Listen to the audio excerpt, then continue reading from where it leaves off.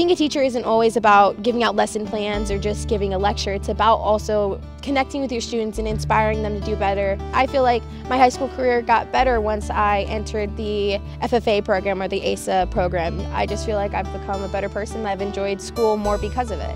The unique thing that makes certain educators rise above all else, where kids relate to them with a sense of admiration, trust, respect.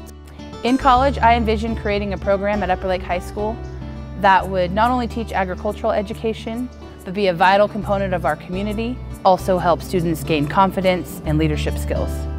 My confidence started building up with science because of her. She's been an inspiration to what I've been wanting to do. And she just makes sure that nothing gets done like halfway done. It's always to the best of the best it can be and you're doing the best of the best you can do. Her as a facilitator, creator, has just been amazing, not only for our school and for our kids, but also for our community. FFA is about being a leader in your community, and I think that's a big part of what makes her so special, is that she helps to build leaders in a small community with not very many resources. She started this FFA program here from nothing. Her goal was the establishing uh, the AG program and the FFA program, but along the way she also picked up the ASA.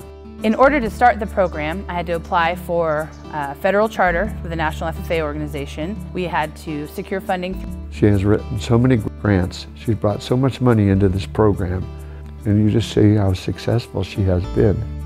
I recommend for any students that are coming into the Upper Lake High School area being able to go into a hands-on area with FFA really allows you to step forward into a different career. We have a growing program that is just fantastic.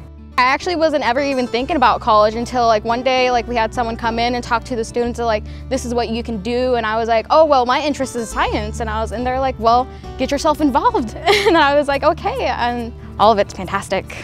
I think that Erica really embodies what that, that program is all about and trying to teach students not only to be good in academics but also be just you know good people and create good members of society really. Miss Boomer really helped me appreciate the natural beauty of our county and life around me. You know, I can just think of so many memories. Thank you, Mrs. Boomer.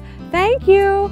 You know, and that's that's the kind of dedication I don't I don't see that every day. She she she just does that. You know, in life, there's no greater reward, no greater personal reward than to influence some part of the future generation. As a teacher, you have that chance.